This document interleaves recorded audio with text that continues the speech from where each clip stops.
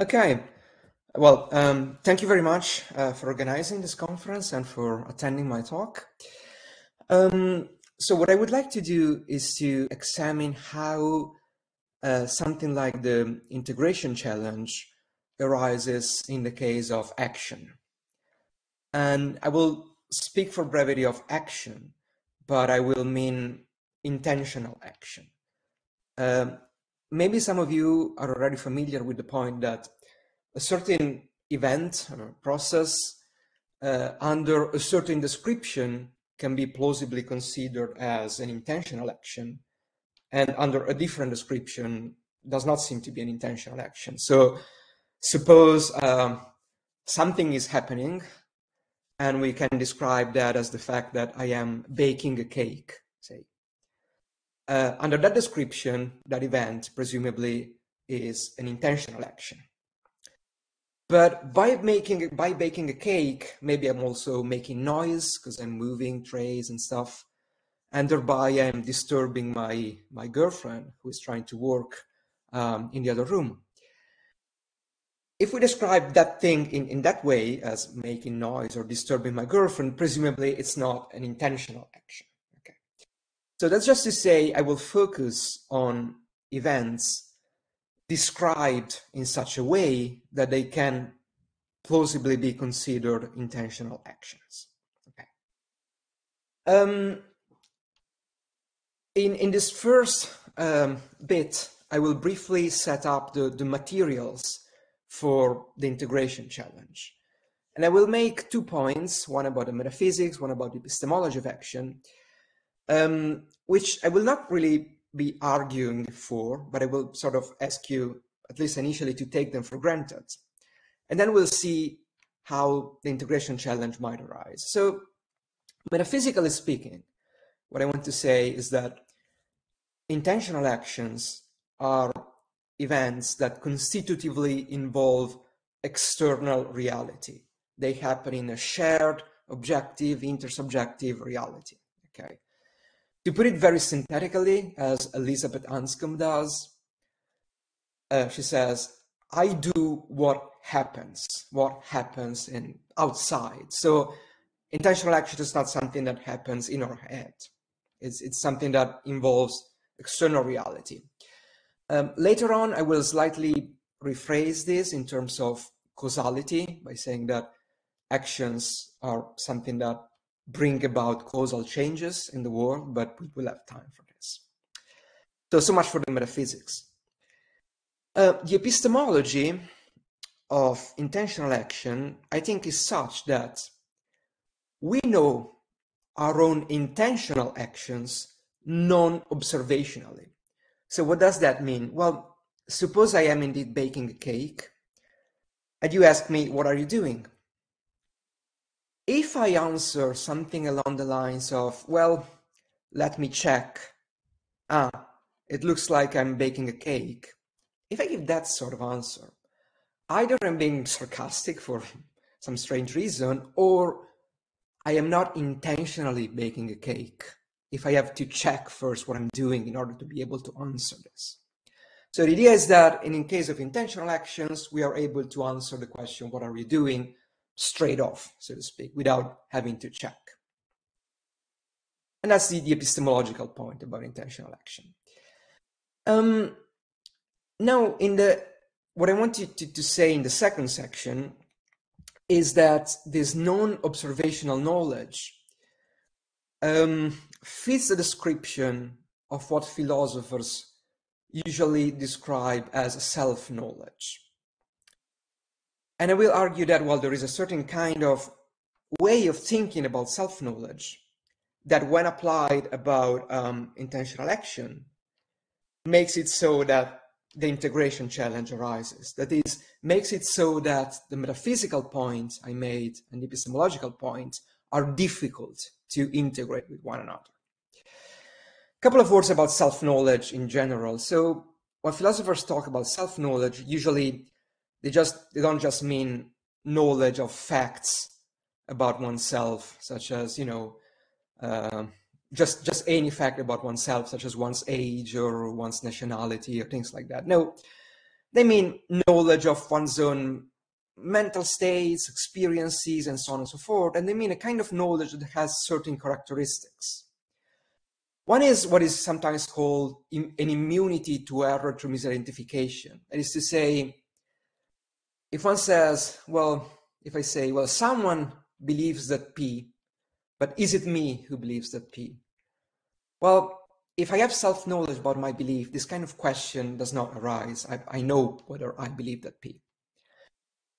And the thought is that, well, if, if, in, if knowledge of intentional action fits this general description of self-knowledge, there too, there shouldn't be something like wondering, well, someone is baking a cake, but is it me who is baking a cake? Okay.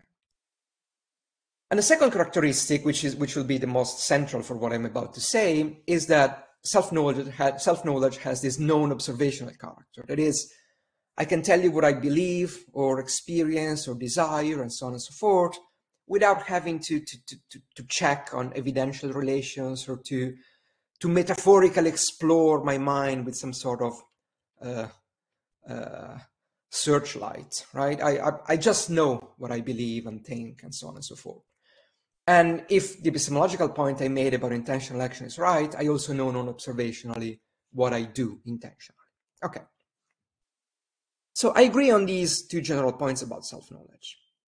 But the problem is that a sort of traditional assumption about self-knowledge, I think it's a very broadly Cartesian assumption, is that this kind of self-knowledge is confined to an inner realm, to something interior, something as something like beliefs, thoughts, desires, experiences, and so on and so forth. But this, this kind of self-knowledge cannot extend to the external world, to what happens in the external world, so to speak.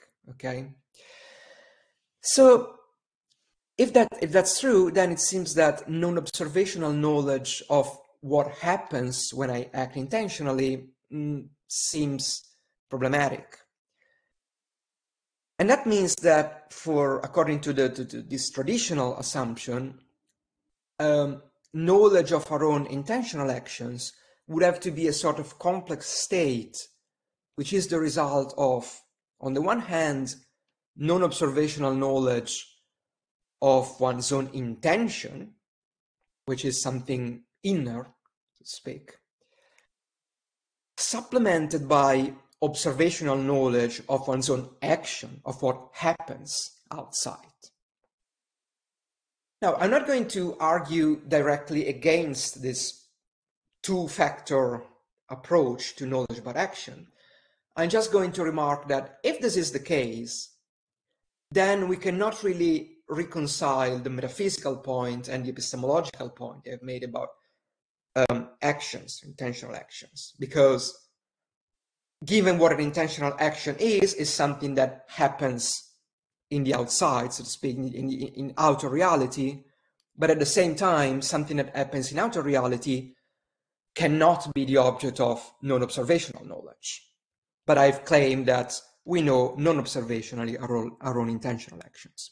So if the, the traditional view is, is right, then we have a problem squaring the metaphysics and epistemology of intentional action. Okay. Um, what I would like to do in the remaining of the talk is to simply try to articulate an alternative model for thinking about an alternative relative to this traditional model, alternative model of thinking about um, intentional action. And this alternative model, um, although I will not directly argue that it's correct, I will say, well, it can make sense of the, the, the metaphysical and epistemological points that I've mentioned at the beginning. So that is to say, it it it um, it lives up to the to the integration challenge. Okay. Um, so in order to set up this alternative model, I will need to um, describe a certain category of capacities for action, which I will call rational capacities. It's not particularly important that we call them that way. I have my reasons for doing this, but it's not very important. these rational capacities, which I'm about to describe, are uh, rational capacity is, is a category that is larger than capacities for action, although I will obviously focus on capacities for action. I will give you a few examples and then I will try to give a more general characterization. So by rational capacities, I mean capacities such as the capacity to prove a theorem or speaking and speaking slash understanding a language and obviously practical things capacities for action such as building something or imagine a doctor or surgeon treating a patient or the capacity to spell words correctly or capacity to cook something or playing an instrument and so on and so forth.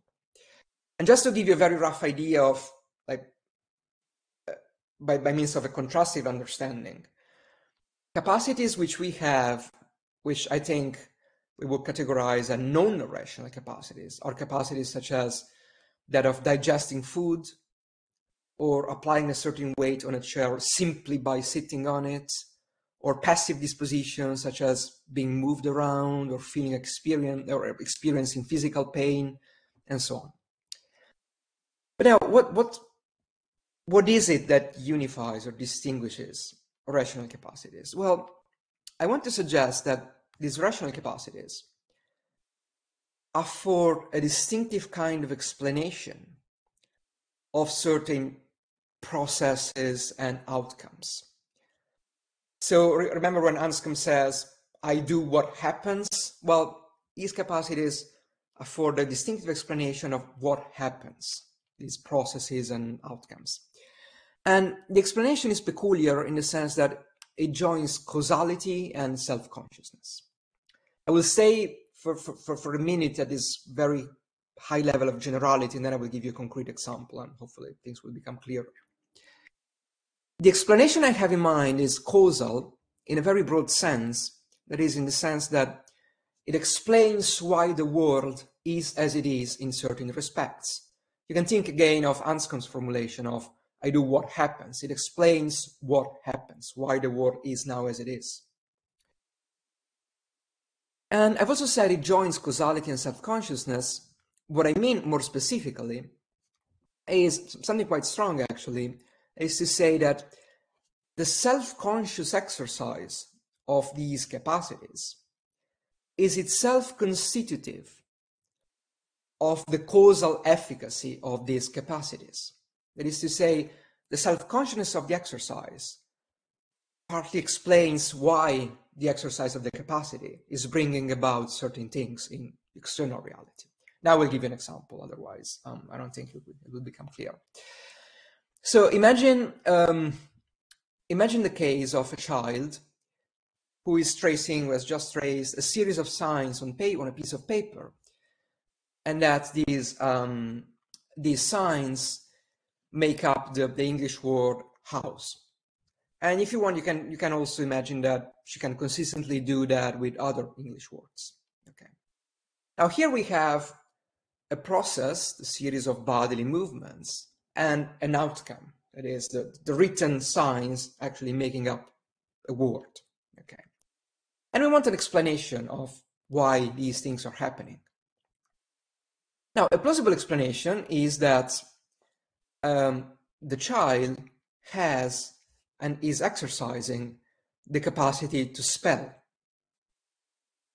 And this kind of explanation is causal insofar as it explains why the world is as it is in these respects, in respects of the movements of the child's hand and in respect of what, what now is there, these, these written signs on paper. At the same time, it is plausible that um, the child is, is self-conscious about the exercise of the capacity. That is, she's aware that she's spelling. This self-consciousness might be manifested in a number of ways. One is that perhaps she might be able to, to teach another child how to spell that word, which presupposes she's aware of what she's doing and how.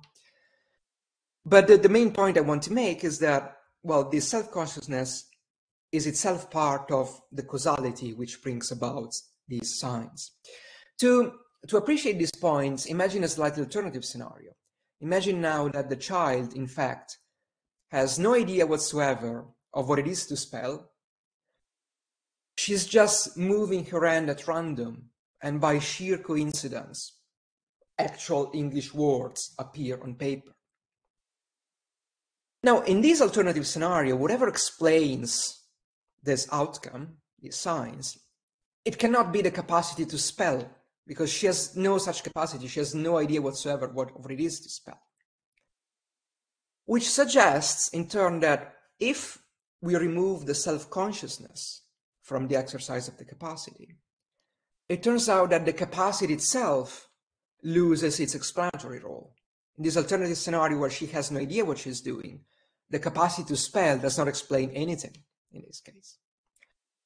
By contrast, if we take what I've called non-rational capacities, say the capacity to digest, in that case, self-consciousness doesn't really have a role to play.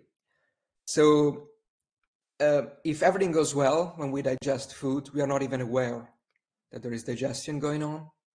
Uh, and even if somehow we, we are having a self-conscious digestion, um, this, this, this self-consciousness does not really do anything in a sense it doesn't guide the capacity it doesn't help to bring about digestion the, the, out, the relevant outcome it just is just merely associate okay now in in what in what remains i want um, basically briefly explain how this idea of rational capacities help us meeting the integration challenge okay so, metaphysically speaking, how am I doing with time? Yeah, okay. Metaphysically speaking, um, this idea of rational capacities um, respects the point that action constitutively involves outer reality or external events, precisely because these rational capacities, as I have defined, are capacities for bringing about a certain outcome in a shared objective reality. So that's the easy bit thing. The trickier point is the epistemological bit. And I will clarify this also with, with by means of these additional remarks that I have toward the end. But the main idea is that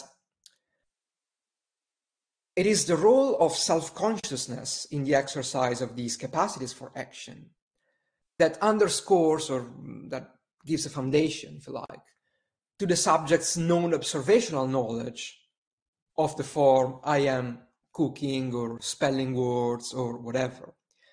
It is because, that is to say, the self-conscious exercise of the capacity guides the exercise of the capacity and partly contributes to the production of what is happening in the outer world that we have we can have non-observational knowledge of what goes on. I will try to, to, to further clarify this by means of these um, final remarks that I have toward the, the end of the handouts. Uh, the first remark is this, that um,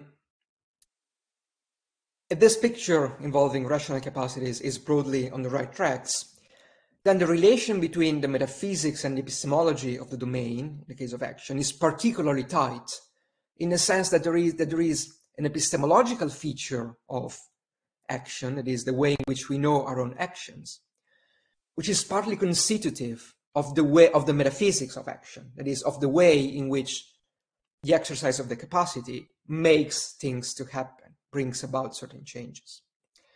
And the other remark is sort of the same point but phrased in a different way, is that the account can shed light on a sort of mysterious points made by Anscombe that knowledge of our own actions which she calls non-observational knowledge, but also practical knowledge some points.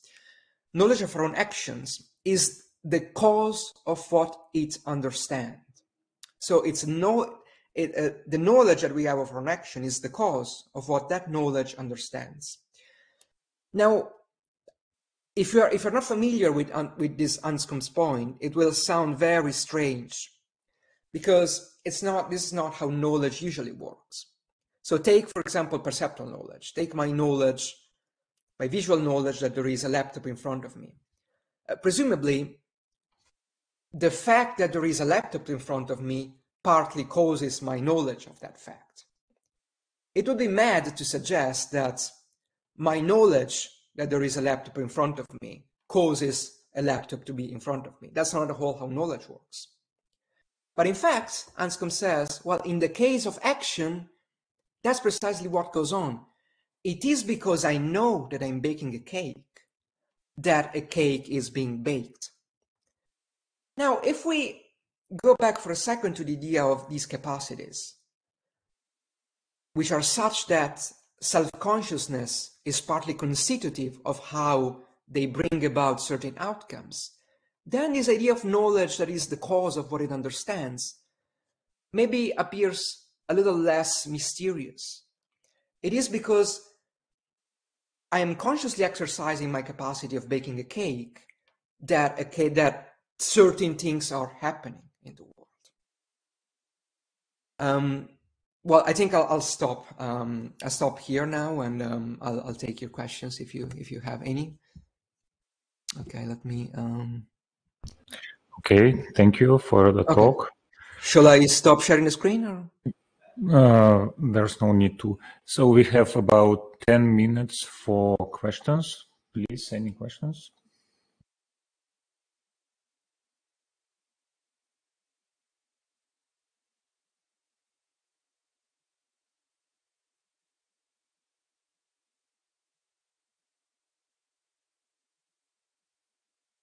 Thank you for your talk. Uh, can you hear me? Yes.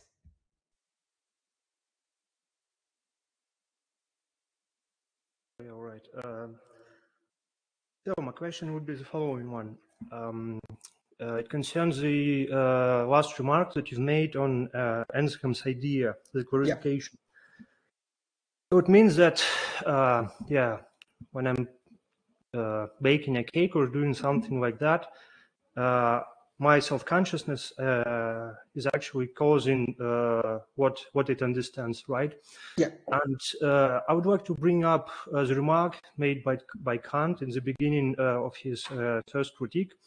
well, roughly put, it says something that the reason can understand only those things that she kind of makes in advance, for like. Um, so what do you think? Uh, can we expand uh, what you've said uh, onto a theoretical domain? So when I'm uh, doing, say, theoretical physics, right?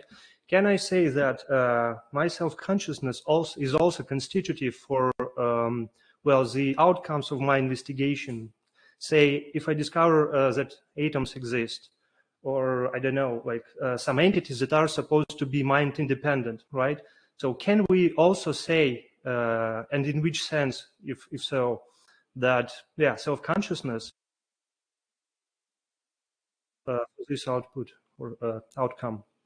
Sorry, I, I, I, I missed the, the very last bit, um, the, the, the very last sentence. Can, can you just repeat that? So uh, the question is, uh, can we uh, also say that concerning this theoretical activity uh, that is supposed to be mind independent, right? That uh, self-consciousness is also constitutive uh, for the outcome of these theoretical investigations. Say that uh, we, um, well, posited and have uh, found out that atoms exist, or like uh, I don't know, any theory or any physical uh, entity that is supposed to be mind independent. So, well, it. Um, it can be, I think it can be partly constitutive of the outcome of the investigation yes, but not of like the reality of the entities that are being discovered. That is just what, what I mean is um, it's not that I, I, I wouldn't say that atoms exist partly because we are doing this investigation, right? So in, in that sense, it's knowledge of atoms would be like ordinary perceptual knowledge. I know that I'm that I have a laptop in front of me because there is a laptop in front of me. Okay, and my knowledge that there is a laptop in front of me is not constitutive of the laptop being there. So I wanted to keep that point. But it can be partly it can still be partly constitutive of the outcomes in the, of the investigation in the sense in which, say, I don't know, say we are trying to prove a theorem, for example um, the fact that I have proved a theorem is partly constituted by my self-conscious activity, right? And that's how I get to, the, to that outcome. Now, the theorem, if it is true, it, it is true independently of whatever activity or self-consciousness I have. But the fact that I have come to that outcome, to the proof, then it partly depends on a self-conscious activity throughout the demonstration. So that, that's what I would say. I don't, I don't, I don't know if it's um, if it answers the question. So your idea is, uh, well, it's yeah, actually uh, commonsensical idea that we have to distinguish kind of uh, epistemological plane and metaphysical plane. Yeah. Yeah, exactly. Yeah, I guess exactly. So I wouldn't like I wouldn't say. I guess I guess I'm not I'm not so. What I'm saying is not that some form of transcendental idealism is true. If if that if that was the idea, that's that's not my that's not my point. It's it's a weaker point.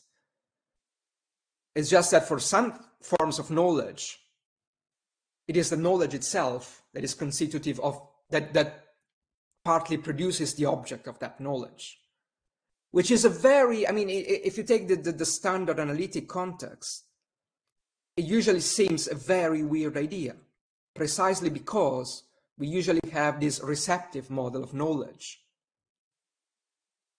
broadly based on perception by means of which you know whereby well knowledge is always causally dependent on its object and it's never the other way around in the case of action i say it's the other way around uh, one uh, quick follow-up. So, what do you think of uh, social facts? I don't know, mm. institutional facts. So, uh, do they count, or do, do they fall under your um, category of um, self-consciousness being uh, const- constitutive for the, um, the, existence of the uh, object? Huh. I, I, I confess I have never thought about this, but it's a very, it's a very stimulating. Uh, it's a very stimulating question. So, so, so like an example would be, I don't know, is a certain form of government, say, I don't know, democracy. Uh, Which? Does the say does democracy exist because we are partly because we are we are self-consciously um, bringing that about? I guess, yeah, I get, I get, I guess maybe, yeah. It's it's it sounds plausible. I I, am not able right now to give you a more specific answer, but I, I, I want to think about that. And it's uh, thank you for the suggestion, actually. Searle has written, uh, has written lots about that exactly. So I know several books, uh, two, two at least. Yeah, just, so, you know, uh, again, quite, again, sorry. Uh, yeah, in that uh, on the one hand, so we uh, so our self-consciousness is constitutive for social facts, but on the other, uh, it does not really provide us with some immediate or uh, well, yeah, immediate or uh, immediate knowledge, or like it doesn't render them uh, transparent for us just you know by by the fact that it is our product. So it's yeah. Thank you very much. Okay, thank you. We have another two minutes for questions. Are there any questions?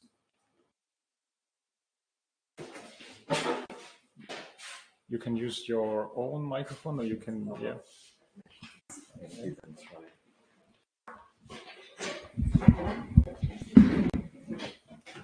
Can I go?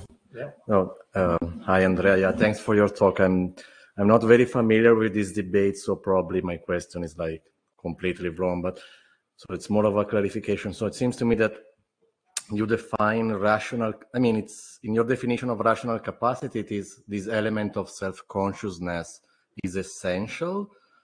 So I was just thinking about what would you say about, uh, I don't know, artifacts, I don't know, or softwares that display some rational capacity because I don't know, you use the example of the child reading or spelling the word house. I don't know, how about the fact that my phone can do it as well? Is that a rational capacity without self-consciousness? What should we say? It's I know. It's it's it's a this is a very difficult question. Um, I mean, I, as I said, it's not like it's not essential that we call them rush. So the idea of calling them rational capacities actually goes back to Aristotle when he defined what he called dunamis meta logou. It means basically powers associated with logos. And well, as you, as you maybe know, logos um, can mean pretty much anything. Uh, one plausible translation is rationality, rational. But what I mean here is just to say that, well, we have a sort of capacities which operate in a distinctive manner. And in us, these capacities require self-consciousness. So that's that's that, that's just what I'm describing. Now, if like if we want to if we want to to attribute rationality to I don't know, a program or a device or a robot or not. I mean, maybe, uh, why not? But it's still, I want to say, there's still something different in the way we act and operate. Because in us, there is this self consciousness that plays an essential role. Maybe a computer can bring about similar outcomes in a way that does not require self consciousness. It's doing something that is similar to what we do, um, but it doesn't require self-consciousness. So if you want to, to apply the label rationality to that too, um, that, that's fine. I mean, it's I, I don't want like to discuss words. I'm just trying to describe a distinctive way, a distinctive kind of capacities that we have and that in us operate in a certain way. That, that's that's all really. Then I, I don't necessarily want to take a stance on whether like we can define a computer as rational or, or something like that. Um, I mean, if I had to take sides, I, I, I, wouldn't be inclined to say that these things understand what they're doing. So there's still something lacking, in my opinion. But I'm, I'm not, I'm not in a position to, to give very strong argument for this. It's just, just sort of an intuition, basically. Okay, thank you. Okay, thank you uh, so much for the talk. Thank you very um, much. Yeah.